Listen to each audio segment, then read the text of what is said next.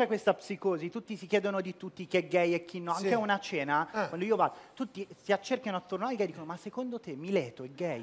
Folle, a me me lo chiedono tantissimo, a volte non te lo aspetti. No. Faccio una cosa alla Tinti, Riccardo, voglio Sì. capire tu quanto gay radar hai. Io ti dico un nome e tu mi dici se è gay o no. Va no? bene. Per esempio, eh, Cesare Cremonini, Beh, no, etero, puro, gay, gay. E perché? Perché è nato il 27 marzo. Che vuol dire il 27 No, marzo? chiunque nasce il 27 marzo Eh. è gay perché è lo stesso giorno in cui è nata Mariah Carey. Ma che c'entra sta cosa? È così, è così.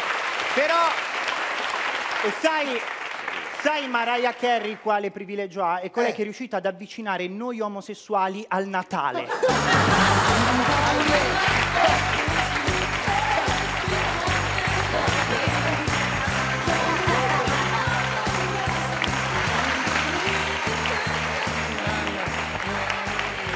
Tutta. No, avviso, avviso il pubblico che chiunque di voi ha fatto così è gay. Lo volevo dire.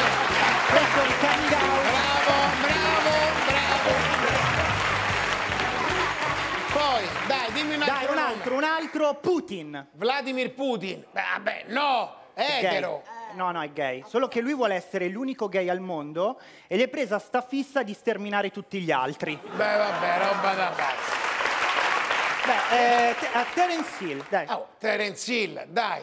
Pure Terence Hill, mo. È gay, Riccardo. Ma perché? È gay. Lui, lui però lo è diventato colpa del metodo Strasberg, cioè lui a furia di fare il prete è entrato troppo nella parte.